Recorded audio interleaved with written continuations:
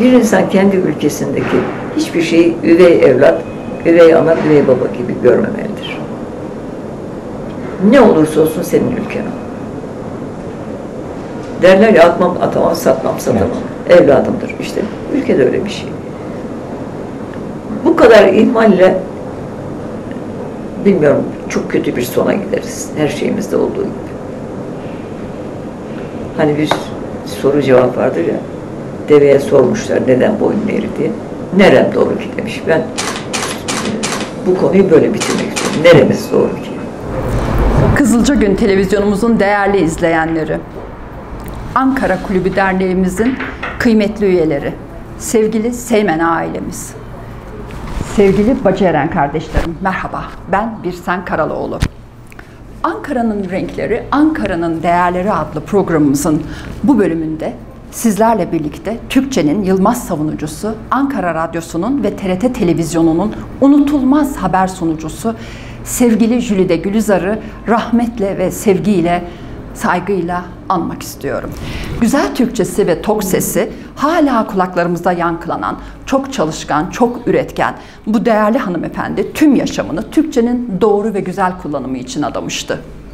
Bizler Jülide Gülizar'ı Türk diline gösterdiği özen ile tanıdık ve sevdik. Ana dilimizin doğru, iyi ve güzel kullanılması için gösterdiği çabayı ve bu konudaki yoğun emeğini takdirle ve şükranla hatırlamaktayız. O işini çok ciddiye alan özel bir insandı.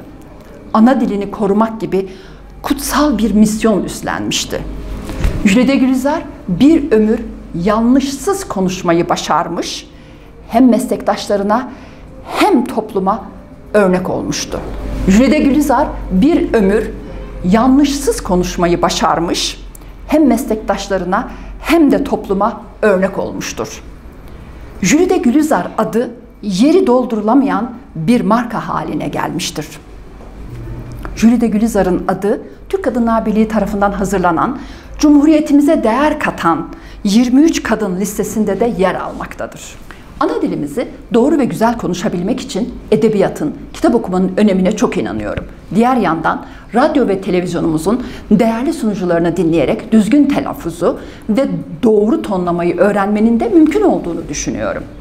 İşte Jülide Gülizar çok az sayıdaki bu ustalardan biri hatta en önde geleniydi. Yaptığı programlar, sunduğu haberler meslekteki ustalığın ve dili iyi kullanmanın ne demek olduğunu gösteren çok başarılı örneklerdi.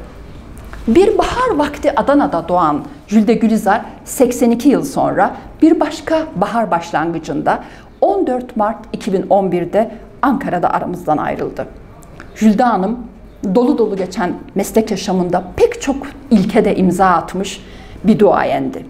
Türkiye radyo ve televizyonlarında bir kadın sunucu olarak açık havada haber okuma, ilk naklen yayın ve ilk röportaj gibi yeni başlangıçları gerçekleştirmiş olan bu değerli kadın 10 yıldan bu yana Yeni Mahalle ilçemizin Karşıyaka mezarlığında sonsuz uykusundadır. Jülide Gülizar'ı kaybettiğimizde bence güzel Türkçemizde öksüz kalmıştır. Jülide Gülizar için Türkçeyi korumak, doğru ve düzgün konuşulmasını sağlamak, dil yanlışlarını düzeltmek bitmeyen bir tutkuydu. Güzel Türkçe konuşulması için son nefesine kadar mücadele etmiş, dili bozanlara karşı çıkmış, Türkçenin yanlış kullanılmasında ısrar edenlere adeta savaş açmıştı. Dil konusunu evet dediği tek ırkçılık olarak değerlendiren sevgili Gülizar, yabancı dile karşı olmadığını ancak başka bir dili öğrenirken ana dilimizi unutmamamız gerektiğini sık sık vurgulardı. Emekli olduktan sonra da bu konudaki mücadelesine aralıksız devam etmiş, dersler vermiş, kitaplar yazmıştı. Jülde Hanım inandığı ve doğru bildiği konularda sonuna kadar direnen, asla vazgeçmeyen, yenilgi kabul etmeyen bir insandı. İlişkilerinde her zaman mesafeliydi.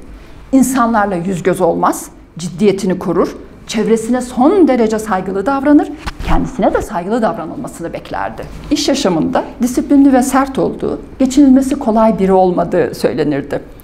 İşini kendi bildiği gibi yapmak, hakkını yedirmemek için zaman zaman hırçın davrandığı da olurmuş. Oysa kişisel ilişkilerinde hiçbir zaman zor biri olmadı. Sert ve mesafeli duruşu sadece işiyle ilgili konularda geçerliydi. 1974 yılında Cumhuriyet Halk Partisi ve Milli Selamet Partisi koalisyon hükümeti ülkeyi yönetiyordu. İsmail Cem TRT Genel Müdürü olmuştu.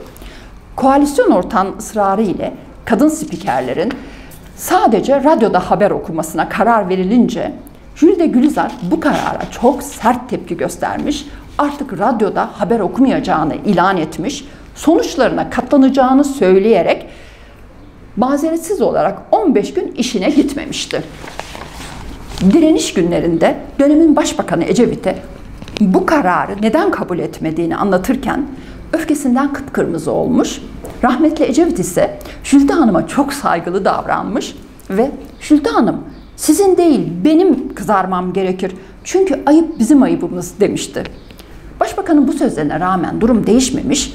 Bu konuya ilgi gösteren gazete haberleri, köşe yazarları, kadın dernekleri, karikatürler derken konu dönemin Cumhurbaşkanı Korutürk'e kadar uzanmıştı.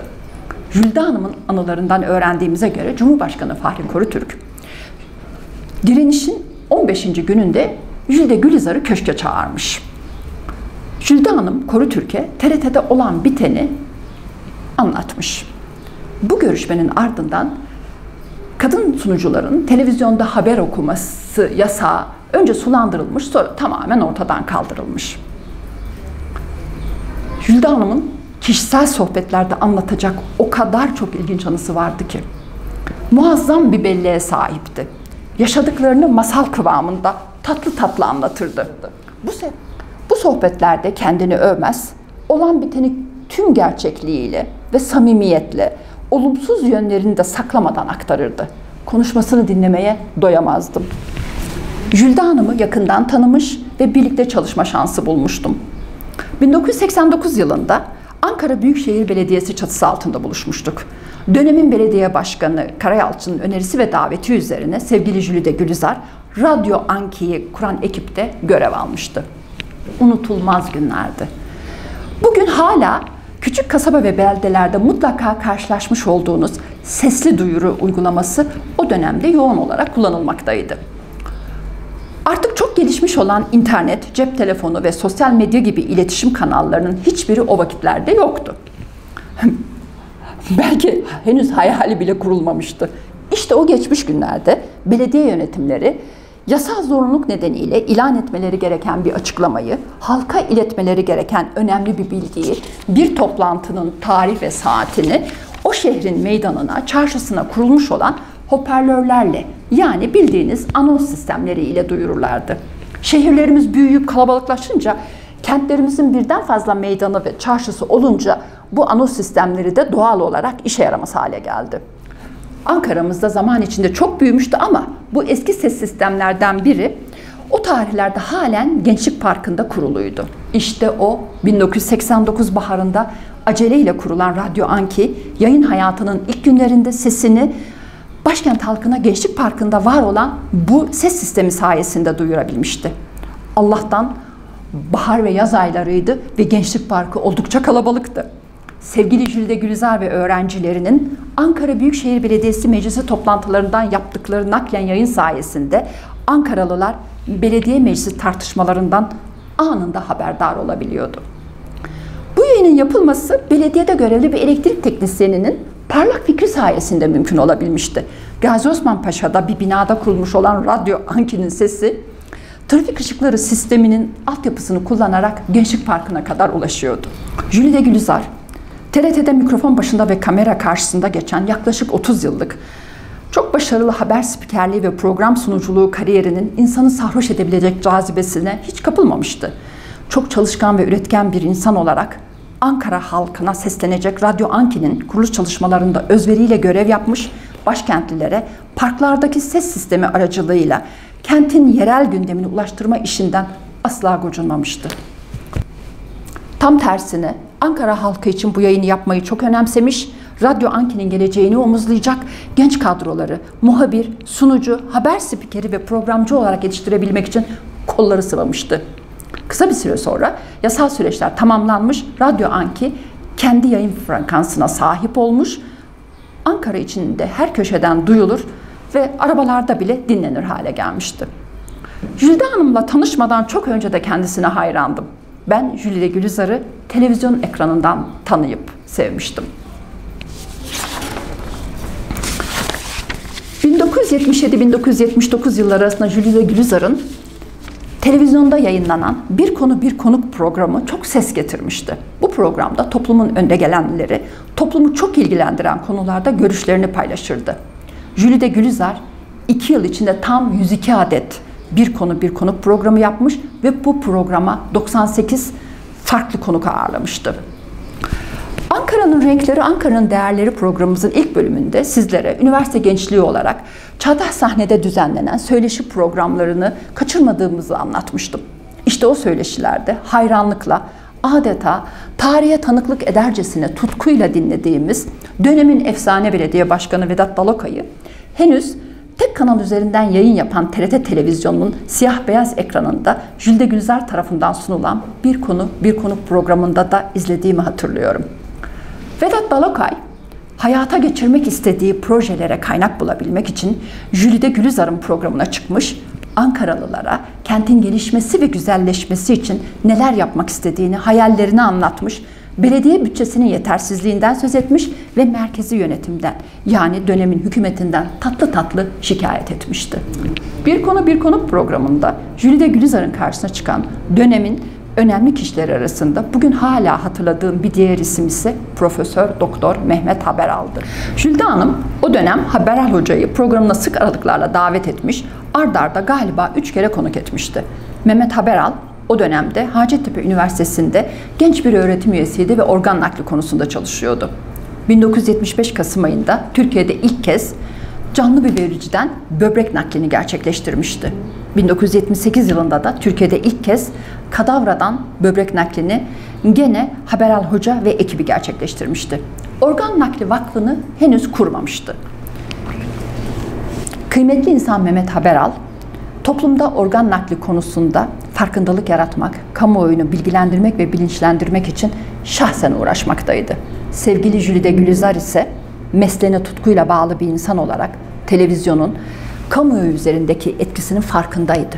Organ nakli gibi ülkemizde çok yeni olan bir konuda önceden dersini gayet iyi çalışarak Mehmet Haberalı programlarında konuk ediyor. Henüz pek duyulmamış olan bu konuyu biraz olsun öğrenebilmeleri için halkın anlayabileceği sadelikte sorular soruyor. Haberal Hoca'nın da bilimsel bir dil kullanmak yerine izleyicilerin anlayabileceği düzeyde temel bilgiler vermesini sağlıyordu. Jülde Hanım Celadet Candar Beyefendi ile evliydi. Celadet Bey bugüne kadar tanıdığım en çalışkan, en sevimli, en becerikli ve en cömert insanlardan biriydi. Karısına adeta tapardı. Jülde Hanım'a kör kütük aşıktı. Onun başarılarıyla gurur duyardı. O dönemde Celadet Bey yaşını başına almış, emekli bir insandı. Ama hiç boş durmazdı. Sevgili eşinin yardımcısı, özel asistanıydı. Eski Vosos arabasıyla Jülde Hanım'ı işine, sosyal toplantılarına ve özel buluşmalarına taşır dururdu. Gönüllü olarak şoförlüğünü yapar, yanından hiç ayrılmazdı. Şu anda üzerimde gördüğünüz bu yelek bana Jülde Gülizar'ın bir armağanıdır. Bunu senin boyuna posuna göre saman pazarında özel olarak diktirdim diyerek giydirmişti. Bu değerli insanlarla çok sayıda anım var. Bugünkü Çiğdem Mahallesi'nde ilk yapılaşmanın başladığı dönemde Celadet Bey burada küçük bir arsa almış. Sosyal konuttan hallice iki katlı mütevazi bir ev inşa etmişti. İnşa etmişti diyorum çünkü bütçeleri çok sınırlıydı. Üstelik yüklenicinin azizliğine uğramışlar. Evlerini yarım halde teslim almak zorunda kalmışlardı.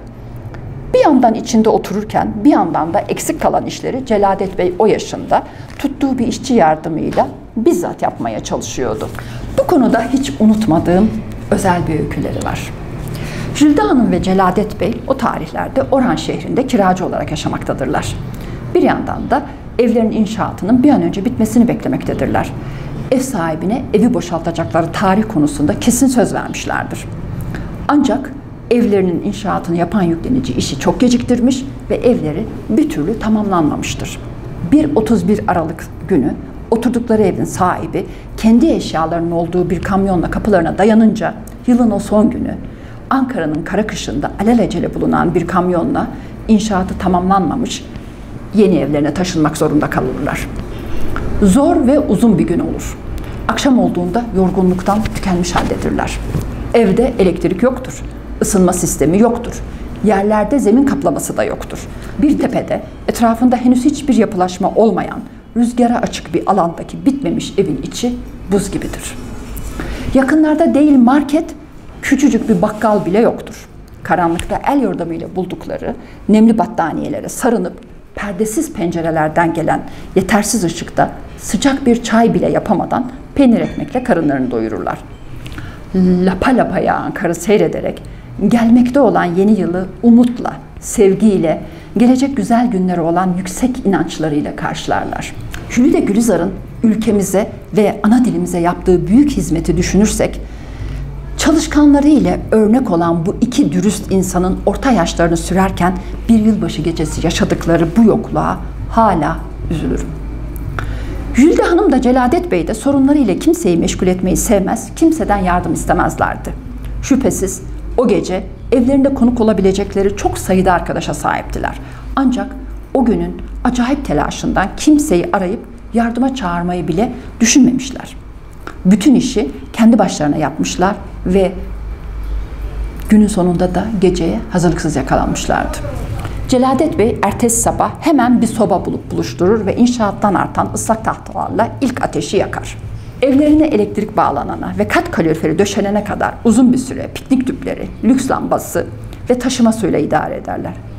İnanır mısınız? Başkentin orta yerinde bu zor koşullarda yaşamaktan asla gocunmadılar. Kendi elleriyle yaptıkları evlerinde saygı ve sevginin yoğun olduğu şahane bir dayanışma içinde yaşadılar. Anla Jülde Hanım'ın o muhteşem üslubuyla anlattığı bu öyküyü dinlemeye doyamazdım. Celadet Bey evle, bahçeyle, bodrum katında mantar yetiştirmekle uğraşır. Jülde Hanım alt kattaki çalışma odasında durmadan yazı yazar, yeni projeler tasarlar, yeni programlar üretirdi. Jülde Hanım'ın evi bir tür etnografya müzesi gibiydi. Ömür boyunca kendisine hediye edilmiş yerel objeleri özenle saklamıştı. Kendisinin sevip satın aldığı folklorik esintili eşyalarla birlikte evinde rengarenk bir ortam oluşmuştu.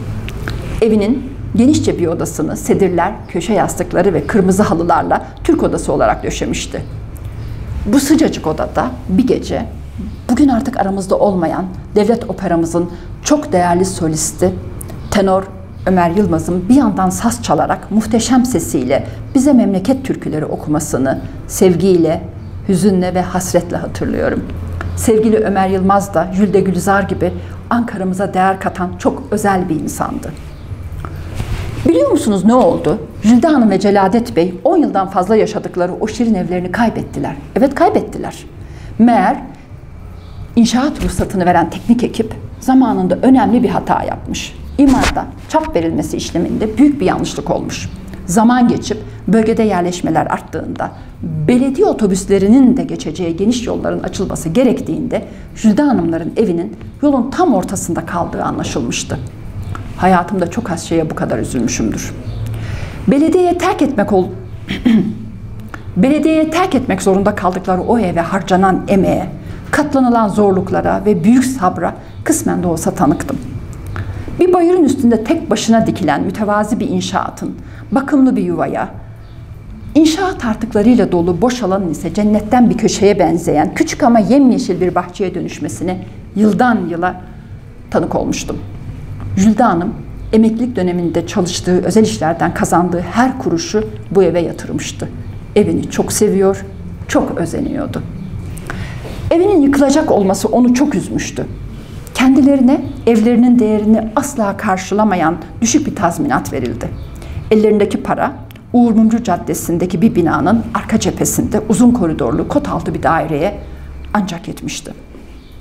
Sizleri de üzdüğümün farkındayım. İsterseniz şimdi de Jülde Gülizar'dan neşeli bir öykü anlatayım.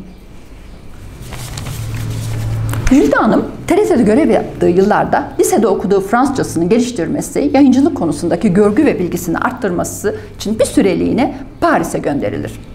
Jülde Hanım Paris'te bir dil kursuna yazılır, bir pansiyona yerleşir ve başlar Paris'i gezmeye. O müze senin, bu sergi benim hepsini görmek ister. Konserleri ve tiyatroları da ekleyince yanındaki para kısa sürede tükenir. Nasıl olsa devlet memurudur. Ay başında yeni ödeneğinin geleceğine güvenir. Ama beklenen ödenek bir türlü gelmez. Postanelerden Ankara'ya telefon etmeye çalışır, telgraf çeker ama bir sonuç alamaz. Kambiyo işlemlerindeki bir sorun nedeniyle para transferi bir türlü sağlanamaz. Paris'te kursta tanıştığı bir arkadaşından aldığı borçla bir süre idare etmeye çalışır. Ama bu şekilde devam etmesi mümkün değildir. Artık odasında sadece peynir ekmek yiyor, kursuna yürüyerek gidip geliyordur. Bu yürüyüşler sırasında bir butik mağaza dikkatini çekmiştir. Vitrininde el örgüsü hırkalar, kazaklar sergilenmektedir bu mağazanın. Parasının iyice suyunu çektiği bir gün daha fazla dayanamaz ve bütün cesaretini toplayarak mağazadan içeri girer. Satış elemanına yaklaşır ve mağaza için vitrindekilerin benzeri hırka ve kazaklar örmek istediğini zar zor utana sıkıla anlatır. Öneriyi duyan mağaza yöneticisi derhal konuyla ilgilenir. Jülde Hanım üzerinde giymekte olduğu hırkayı gösterir ve kendisinin ördüğünü söyler. Çiçekli, böcekli, işlemeli güzel bir hırkadır. Mağazanın yöneticisi bir deneme yapmayı kabul eder Jülde Hanım'a yeterli miktarda yün ve şiş verirler. Jülde Gülzar aldığı bu malzemeyle koşturarak pansiyonuna döner. Hemen o gece sabaha kadar uyumaz ve sırtındaki hırkanın bir benzerini örer. Yeni ördüğü hırkayı mağazaya teslim edince kendisine hemen ödeme yapılır ve yeni yünler verilir. Jülde Hanım gülerek örgüden kazandığı bu ilk para ile kendisine sıkı bir ziyafet çektiğini anlatmıştı. Kambiyo sorununun ne zaman çözüldüğünü hatırlamıyorum. Ama öykünün sonunu gayet net hatırlıyorum. Jülde Hanım'a ördüğü hırkaların satış fiyatının yarısı ödenmiş. Bu miktar bizim çulsuz kursiyerimiz için oldukça yüksek bir gelir demektir. Jülde Hanım o günden itibaren dönene kadar geceleri örgü örmüş, gündüzleri de Paris'in tadını çıkarmaya devam etmiş. Jülde Gülizar'ın ördüğü hırkalar ise butikten adeta kapışılıyormuş. Jülde Hanım siparişlere yetişemez olmuş. O günün kambiyo sistemine göre örgü kazandığı Fransız franklarını kendi ülkesinde kullanamayacağı için Paris'ten dönmeden önce kendisine yeni giysiler almış. Ailesine ve arkadaşlarına bol bol hediye seçerek örgüden kazandığı paraları gene Paris'te harcamış. Bu öyküden alınacak ne kadar çok ders var. O tarihte ülkesinde tanınan bir haber sunucusuydu ama Paris'te beş kuruşsuz kalmıştı örgü bilmesi, üstelik çok güzel örgü örmesi ona bambaşka bir kapıyı aralamıştı. Bu öyküden alınacak ne kadar çok ders var. O tarihte ülkesinde tanınan bir haber sunucusuydu ama Paris'te beş kuruşsuz kalmıştı. Örgü bilmesi, üstelik çok güzel örgü örmesi ona bambaşka bir kapı aralamıştı. Jülde Gülizar, demiryolcu bir baba ile ev kadını bir annenin evladıydı. Reşat Nuri Güntekin'in Akşam Güneşi romanındaki Jülde karakterinin adını beğenen anne ve baba ilk doğan kızlarına Jülide adını vermişti. Babası işinin özelliği nedeniyle sürekli yer değiştirdiğinden kızının iyi bir eğitim alması için Ankara'da yaşayan dayısının yanına göndermiş. Jülide dayısının evinde yaşarken Ankara Kız Sesi'ne devam etmiş, ardından hukuk fakültesine girmiş. Üniversite öğrencisiyken dergilerde şiirleri yayınlanmaya başlamış. Jülide Gülizar hukuk fakültesinden mezun olunca avukatlık stajını yapmış. Ancak aklı fikri şiirde, edebiyatta ve kültürdedir. Hukukçu olmayı hiç istememiştir. 1956 yılında sunuculuk sınavını kazanıp Ankara Radyosu'nda haber spikeri olarak göreve başlar. Böylece 55 yıl boyunca sunucu, haber spikeri, programcı, gazeteci, basın danışmanı, eğitmen olarak mutlulukla ve tutkuyla görev yapacağı mesleğine de başlamış olur. Sonraki yıllarda kendisiyle yapılan bir söyleşide ilk göreve başladığı sıradaki duygularını şu cümleyle anlatmıştı. Ankara ve Ankara Radyosu bir idealdi. Rüyada bile göremeyeceğim bir idealdi. Daha 25 yaşında idealine kavuşan genç Jülide, radyoda haber okuyan sesiyle kısa sürede gönüllerde taht kurmuştu. Mesleğinin 12. yılında 1968'de ülkemizde televizyon ilk yayına başladığında Jülide Gülizar bu sefer kameraların karşısındadır. Türkiye artık radyodan duyduğu bu tok ve güven verici sesin sahibini ekranda görmeye başlamıştır. Jülde Hanım TRT'den 1982 yılında 53 yaşındayken emekliye ayrılmış ama ondan sonra da hiç boş durmamış. son nefesine kadar çalışmaya devam etmiştir. Emeklilik döneminde çok sayıda ajans ve yayın kuruluşunda yazar, muhabir, eğitmen olarak görev üstlenmiş, özel radyo ve televizyon kanallarında sunuculuk, program yapımcılığı yapmış, sunucu yetiştirme kurslarında ders vermiştir. Jülide Gülizar ömrünün son yılında Ankara Kalesi'ndeki tarihi Kınacızade Konağı'nda Kıvırcık Usta tarafından hazırlanarak kendisine tahsis edilen özel odada çalışmalarını sürdürmüş. Dostları, öğrencileri ve gazeteci arkadaşlarıyla bu odada buluşur, yazılarını ve programlarını bu odada hazırlardı. Tarihi Kınacızade Konağı'ndaki Jülide Gülizar Gazeteciler Odası bugün de yerel, ulusal ve yabancı gazeteciler için bir buluşma mekanı olarak kullanılmaktadır. Bu odada Jülde Gülizar'dan kalan anılar korunmakta, yazılarını yazdığı portatif daktilosu, bazı kişisel eşyaları ve fotoğrafları sergilenmektedir. Pandemiden sonra Jülde Gülizar'ın bu odasını birlikte ziyaret edebilmeyi öneriyorum. Kutsal olarak kabul ettiği mesleğini hastalanıncaya kadar sürdüren Jülde Gülizar'ın yayınlanmış 11 kitabı ve sayısız da ödülü bulunmaktadır. Jülde Gülizar, başarıya ulaşmanın formülünü tek bir sözcükle açıklar, bu sözcüğü arka arkaya tekrarlayarak önemini vurgulardı. Öğrenmek, öğrenmek, öğrenmek. Dolayısıyla okumak, çok okumak. Kendisi son nefesine kadar öğrenmeye ve öğretmeye devam etti. Kızılca Gün televizyonumuzun değerli izleyenleri, Jülide Gülizar hanımefendiyi huzurunuzda rahmetle ve şükranla anıyor. Kıymetli hatırasını saygıyla selamlıyorum. Her ayın birinci ve üçüncü haftalarında Cuma akşamları saat 20'de Ankara'nın Renkleri, Ankara'nın Değerleri programının yeni bölümlerinde sizlerle birlikte olmayı sabırsızlıkla bekliyorum. Sizlere esenlik diliyor, sevgi ve saygılarımı sunuyorum. Görüşmek umuduyla.